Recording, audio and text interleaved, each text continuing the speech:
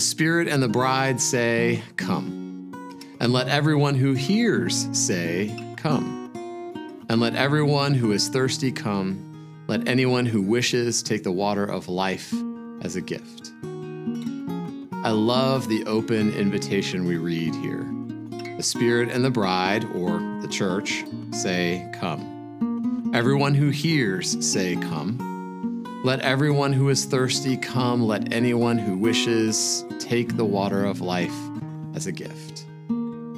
We echo this invitation at our communion table. Everyone who wants to partake can do so. The grace of God is available to everyone, and we issue the open invitation every time we take communion together. But when I'm honest, I don't echo this in my day to day life. I'm always working in myself to issue such an open invitation to friends and strangers alike but I put qualifiers out there instead. Meet my standards. Do what I want or what I expect you to do. I feel like I need to be the gatekeeper on God's behalf rather than just the town crier who calls to anyone and everyone with open arms and genuine invitation.